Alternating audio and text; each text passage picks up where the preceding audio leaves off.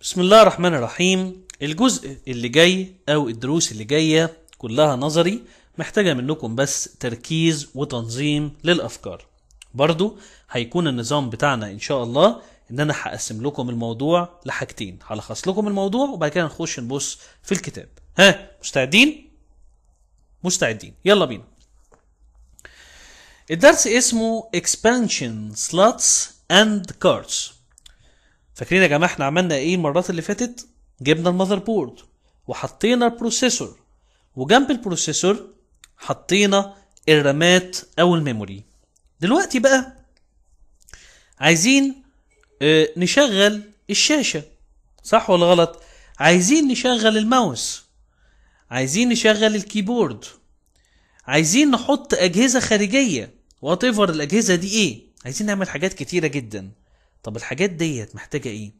الحاجات ديت محتاجة slots وفي نفس الوقت محتاجة cards تعالوا كده نشوف الكتاب بيقول لنا إيه. بيقول لنا إن ال expansion slots and cards ديت for adding devices يعني إيه adding devices علشان تضيف أجهزة. عايزين نضيف monitor طب ال monitor ده هنحطه إزاي في الكمبيوتر؟ تمام كده؟ عندنا مثلا حاجة زي ال graphic cards. تمام؟ ال graphic cards ديت بتعرض آه، رسومات ثلاثي أبعاد أو videos ثلاثي أبعاد. عندنا ال sound cards علشان الصوت وعلشان برضو أقدر إن أنا أسجل. عندنا ال network interface card دي علشان أقدر إن أنا أعمل connect بالإنترنت. ديت ال wireless network cards علشان أقدر إن أنا أخش على الإنترنت ولكن wireless من غير سلك. وعندنا ال TV tuner cards علشان أحول الكمبيوتر بتاعي لتلفزيون. يا جماعة الكلام ده سهل ولا صعب؟ طبعا بالنسبة لكم سهل جدا. عندنا حاجة اسمها plug and play إيه بقى plug and play ديت؟ plug and play ديت يا جماعة المصطلح ده بيقول لك إيه؟ ركزوا معايا كده شوية. أنا دلوقتي عندي for example كده عندي printer ال printer ديت اللي هي اللي بتطبع ورق.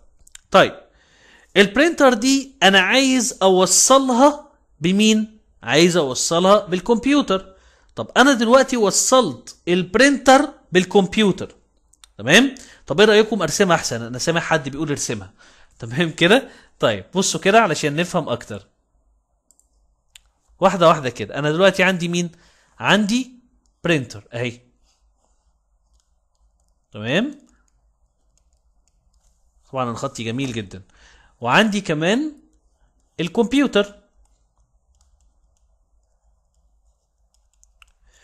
عايز أوصل ال printer بالكمبيوتر. طب الكمبيوتر دوت نازل عليه إيه؟ نازل عليه operating system إيه ال operating system ده يا جماعة؟ ها ال operating system اللي هو ال Windows مثلا for example تمام كده؟ طيب ال operating system اللي نازل على الكمبيوتر دوت ركزوا معايا. يعرف حاجة عن ال printer يفهم إيه هي ال printer ديت؟ ها ما يفهمهاش أصلا ولا يعرف عنها حاجة. فلازم أنا أعرف ال printer ده بمين؟ بالكمبيوتر أو بال operating system أقول له يا operating system على فكرة دي printer واخدين بالكم يا جماعة؟ والاثنين ما يعرفوش بعض فأنا عايز أعرف ال operating system علشان كده معظم الأجهزة اللي إحنا بنجيبها بيبقى ليها سيديهات بيبقى ليها سي دي أو دي في دي سي دي ده بيبقى اسمه ده على فكرة تعريف ال printer علشان تعرف ال printer بال operating system okay كده يا جماعة؟ جميل جدا.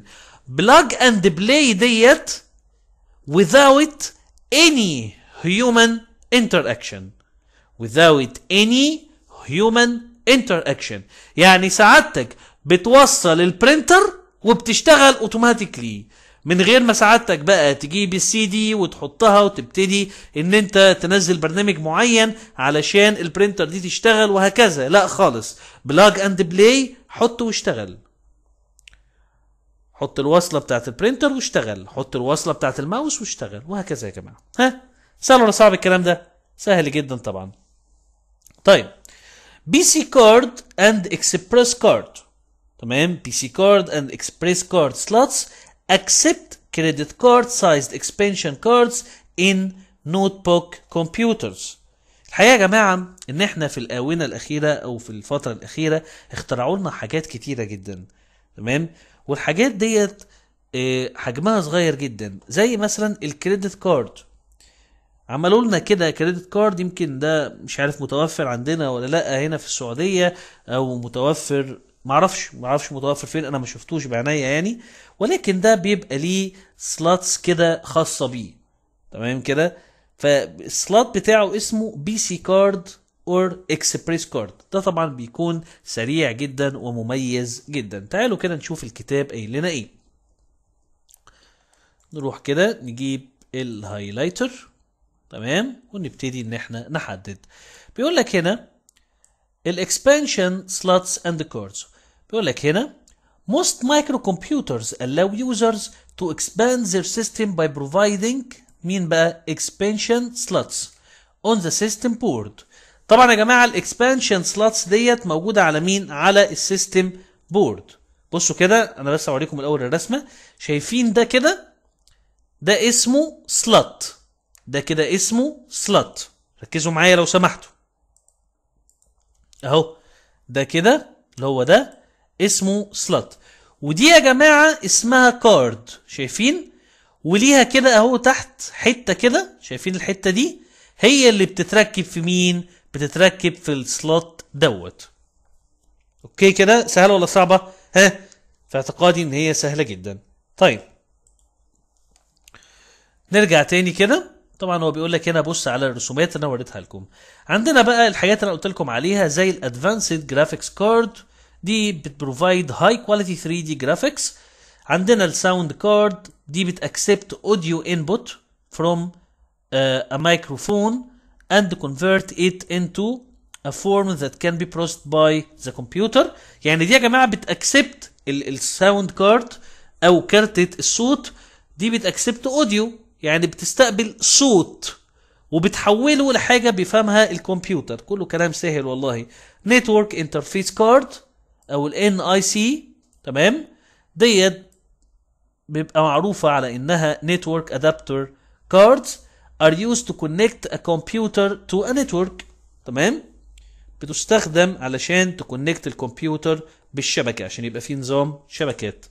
شرحت لكم الرسومات. وعندنا ال wireless network cards وعندنا tuner card تمام؟ طبعا ال wireless ديت allow computers to be connected without cables. ماشي؟ علشان نقدر إن إحنا آه نعمل شبكة without cables من غير أي كابلات من غير أي أسلاك. تمام؟ هنا بيقول لك now you can watch television. تقدر تشوف التلفزيون capture video.